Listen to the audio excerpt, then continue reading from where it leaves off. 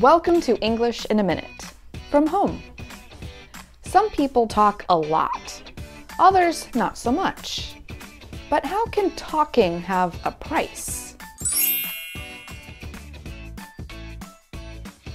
Jonathan, this weekend I am going to organize my workspace. It's going to be clean and organized. You've been talking about that for months. It takes time. Anna, talk is cheap. Just clean your office. It's easy to say you're going to do something. It's a lot harder to actually do it. This is what talk is cheap means. Another expression that means the same thing is actions speak louder than words. And that's English in a minute.